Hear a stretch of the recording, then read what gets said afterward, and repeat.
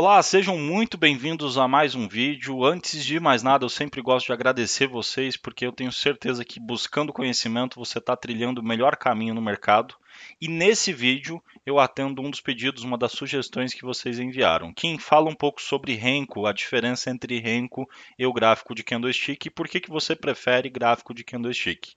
Mas peço licença aqui para convidar você a se inscrever no canal, caso você não esteja ainda inscrito aqui, e ativar o sininho de notificações para que você receba sempre a notificação quando postarmos vídeos novos. Sobretudo, eu peço a sua ajuda também para que a gente possa construir os melhores vídeos possíveis com temas mais interessantes. E então deixem as suas sugestões, vai aqui nos comentários e fala, Quinzão, faz um vídeo disso, faz um vídeo daquilo. Se for claro algo que eu tenha conhecimento, que eu tenha know-how para explicar e via de regra que seja pertinente também, claro, né? Com certeza a gente vai gravar esses conteúdos para vocês, tá certo? E turma, claro, se você gostar do vídeo, deixa o joinha, dá aquela força para o canal, compartilha para que esse conteúdo chegue ao maior número de pessoas e vamos então direto ao ponto para falar sobre os principais tipos de gráfico. Bom, turma, Gráfico de linha, ele não é utilizado praticamente no mercado financeiro, exceto para fazer relatórios ou coisa do tipo, que aí a, a, a parte visual do desempenho de um ativo por uma única linha é, é, mais apresentável para pessoas leigas, mas para operadores o gráfico de linha não é utilizado. Né? É, então é muito mais utilizado o gráfico de barra, né, que hoje ah, praticamente representa, acho que 0,01% das pessoas, e depois a grande massa que utiliza a candlestick e, claro, o Renko também. Então vamos falar dos dois principais, que é o que é mais utilizado, o que faz mais sentido e o que vocês vão encontrar aí com certeza no mercado. É, muita videoaula também, muita gente com estratégias e setups falando disso. Para começar, eu tenho que falar da minha base. Por que, que eu escolhi o candlestick? Porque quando eu comecei a estudar análise técnica, foi através de gráfico de candlestick. Candlestick é uma referência, o nome né, é uma referência à vela, à, à posição, né? velas ali, tá certo? Então, a, a demonstração a, das informações de um gráfico de candlestick, ela está relacionada a tempo. O que, que isso significa? Quando você escolhe um gráfico, né, de, por exemplo, é, eu vou colocar aqui Petrobras, tá certo? Então, vou colocar aqui o gráfico de Petrobras. E eu vou escolher o gráfico diário. O que, que significa isso? Que cada candle representa um dia de negociação. Não importa o que aconteceu durante esse um dia, esse candle vai ser fechado. Se eu trocar e colocar um gráfico de um minuto, esse, a disponibilidade das informações que esse gráfico está me dando é que cada candle, cada vela, né, representa um minuto de negociação. Na regra de coloração que eu estou utilizando, as barras verdes, os candles verdes, eles são os candles positivos. E isso acontece porque nós tivemos uma abertura inferior ao fechamento, tá certo?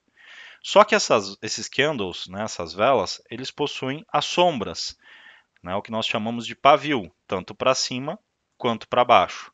Então entendam o seguinte: essa linha horizontal inferior, ela representa a abertura.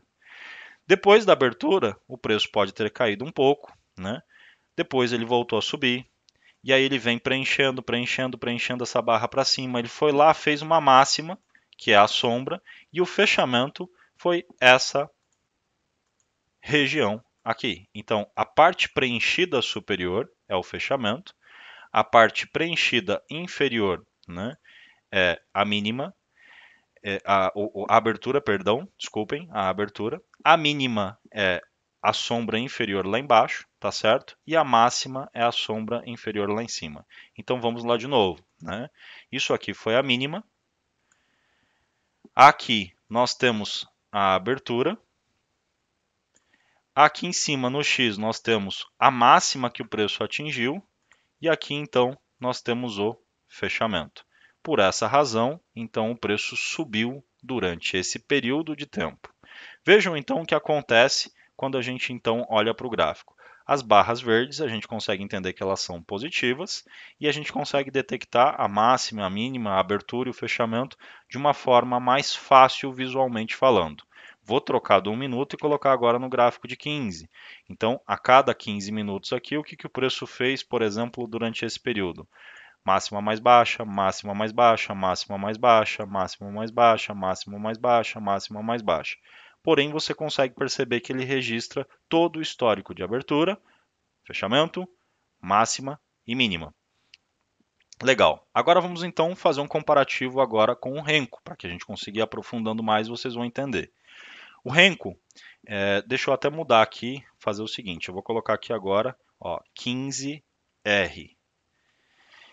Quando eu colocar aqui, vai ficar até mais didático, né, fazendo por esse caminho, tá? 15R, olha o que aparece na mensagem aqui no nosso gráfico. Ele fala 15 ticks e entre parênteses ele, entre parênteses ele fala, cara, você está colocando um gráfico de Renko de 15 ticks. Então vou dar um Enter agora. Coloquei o gráfico de 15 ticks. Olha a diferença do que a gente tem para o gráfico anterior. Lembrando que a gente está com o mesmo ativo, né? E a gente está trocando aqui agora é, apenas de candlestick para Renko. Quando a gente fala em tick, vocês precisam entender o seguinte. Qual que é o tick mínimo da Petrobras? Então eu estou aqui com o livro de ofertas dela, do lado direito. Eu vou pausar a tela para ficar bem didático e vocês conseguirem perceber. Quanto que a Petro oscila, no mínimo, entre um negócio e o outro? Ela está 26,45 agora. Então, para ela subir, ela vai subir no mínimo um centavo, porque aqui o tique é de um em um centavo. Então, quando eu escolhi 15 ticks, um gráfico de 15R, né, eu estou falando para o Renko que a cada 5 centavos é, perdão, a cada 15 centavos que ela oscilar, ou seja, 15 ticks, né? 15 centavos são 15 ticks, o tique mínimo é 1 centavo, ela vai fechar um box. Isso mesmo, né? no caso do Renko é chamado de box. Esse quadradinho que ele vai deixando aqui, ele é chamado de box. Logo, pessoal, a maneira com que você agora passa a analisar o mercado, ela tem uma diferença gritante da análise de, de análise gráfica de candlestick, porque lá está relacionado a tempo, então o que acontece, a variação que acontece na linha do tempo. Aqui agora o box é fechado dentro do, do, do conceito de quantidade de ticks, quantidade de negócios que teve ali para fazer o preço oscilar, né? 15 ticks e então fechar uma barra. Eu vou trocar agora aqui, por exemplo, para um gráfico de 5 ticks. O que, que isso significa? É, Perdão, coloquei 5 minutos. 5R. Aí, agora sim, eu tenho um gráfico de 5 ticks. O que, que isso significa? Que a cada 5 centavos que a Petrobras oscilar, ela fecha um box, seja ele positivo ou seja ele negativo. Aqui entra uma sacada que alguns operadores fazem. Para ter uma percepção melhor de reversão, de mudança de comportamento, eles acabam fazendo isso aqui. Ó. Eles colocam o candlestick por cima do Renko para que ele cons consiga ver as sombras, entenderam? E aí o que, o que, que acontece, turma? Quando o, o mercado está fazendo box negativo, né, então ele tem que, para manter o box negativo, o que, que ele tem que fazer se eu estou agora num gráfico de 5R, né? 5 ticks, ele tem que ter 5 centavos de queda, aí ele fecha negativo. Aí aqui ele tem que ter 5 centavos no mínimo ou mais, aí ele fecha negativo. Se aqui o próximo ele cair 3 e voltar a subir, fica mais difícil de você ver a reversão de tendência sem o pavio, né? E quando você coloca o pavio, o box fecha, né? E ele te fala, olha, eu não caí 5 centavos, eu só caí 3, eu larguei um pavio para baixo, então agora eu virei para um box verde, eu virei para um box positivo, né? Porque eu deveria cair 3 centavos, é, 5 centavos, perdão, eu só caí 3, e então eu voltei a subir e subi 5, puxei 5 para cima, então eu virei agora um box positivo. Então, alguns operadores fazem isso. Eu vou tirar de novo aqui as sombras, é só vir aqui em automático e você tem agora o gráfico de Renko. Eu não me adaptei a essa estrutura. Eu prefiro realmente o gráfico na linha do tempo, porque foi a minha base, eu acabei me desenvolvendo dessa forma.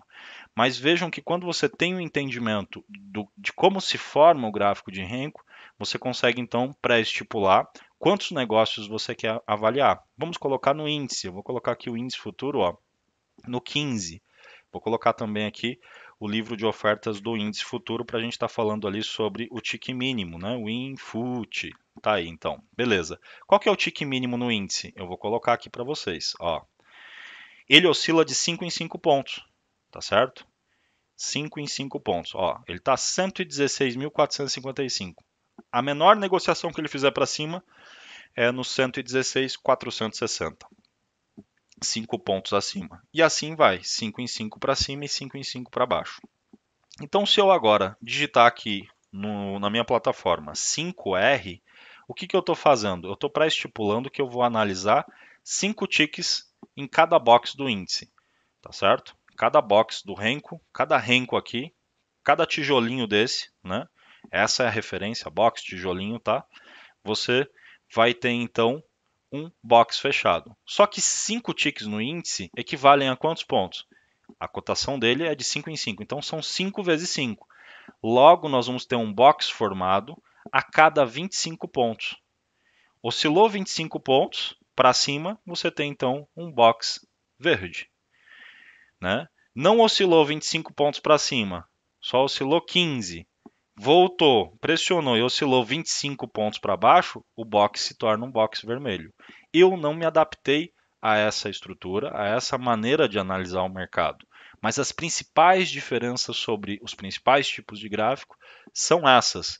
Então espero que você tenha gostado do vídeo e a minha sugestão para você que quer aprender sobre Renko é um gráfico interessante. Hoje tem bastante gente que tem vários setups, né? É aprofundar bem o seu conhecimento. É, e agora eu vou fazer uma troca. Então, estou num gráfico de 5R, 5 ticks. Cada 25 pontos, fecha um box, fecha um tijolinho aqui no gráfico, certo? Eu vou acrescentar a, a seguinte colocação. Imagina isso num mercado muito volátil, que ele dispara e sobe 100 pontos rápido. Então ele faz, que é o que ele acabou de fazer na tela, né? 4, 5, 6, 7 boxes, 5, 6, 7 tijolinhos rapidamente. O que no Candle não, o Candle está lá, ele está ativo ainda, ele está tá em andamento.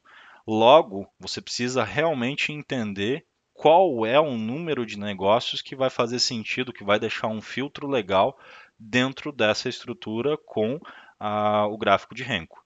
A sacada também de inserir o pavio no candle pode te ajudar a estar tá visualizando um pouco mais a reversão de tendência, tá? Porque às vezes você tem um box negativo, né? Mas sem o pavio você não consegue ver que ele não caiu os 25 pontos, né? No caso aqui que a gente está fazendo essa referência como exemplo do, do renco de 5 aqui, 5 ticks, no caso do índice, 5 vezes 5, 25, né? Só para frisar bem com vocês. Então ele não cai esses 25 pontos, então ele não consegue fechar um box negativo, ele volta, larga a sombra e puxa o suficiente para fazer 25 pontos para cima. Ele deixa de ser vermelho, esse box, e passa a ser verde. E isso, claro, em pontos que você considera interessante, vai fazer total sentido. A exemplo agora na tela. Se você for ver aqui, aqui, aqui, aqui com pavio, né, você consegue ver o box mudando. Ele vem tentando pressionar, aí larga o pavio e volta a subir tá? Eu não me adaptei dessa forma, por isso eu me mantive no gráfico de candlestick, que é um gráfico temporal, né? É onde a gente vai agora fazer esse comparativo. Vou sair do gráfico de 5R aqui, vou colocar no 15R agora, ó, 15R. Tem mais filtro. E vou colocar agora o input no 15 minutos. Olha a diferença na disponibilidade das informações.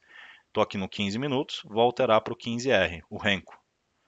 Olha isso, turma é muito mais informações. Né? Então, lógico que aqui em 15 minutos eu teria que entender, por exemplo, quantos negócios tiveram dentro de 15 minutos, para de repente eu transportar isso para a quantidade de negócios que eu vou buscar no, no, no Renko. Alguns vão levar para essa linha, né? Então, mais do que nunca, você precisa realmente se esforçar e entender qual é o tempo que você vai utilizar no Renko, a quantidade de ticks que você vai usar no Renko, é, para você então transferir de repente seu operacional do candlestick para o gráfico de Renko.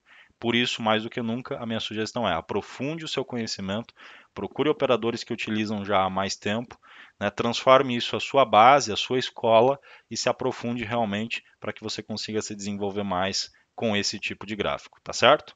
Turma, espero que vocês tenham gostado. Quem não conhecia mais do gráfico de Renko, consegui passar um pouquinho da estrutura dele aqui com vocês. Se você gostou do vídeo, dá aquele joinha, compartilha e tem aqui na descrição um link para você que quer operar pela XP e nesse link, se você clicar nele fazer a sua abertura de contas, você ativando a RLP, você tem é, corretagem gratuita, você tem também, se você fizer algumas operações, a plataforma que eu utilizo de forma gratuita também. Então, se você tem interesse, procura mais conhecimento aí, clica no link, abra sua conta na XP e venha operar também na corretora que eu trabalho. Um forte abraço, saúde e paz e até o próximo vídeo.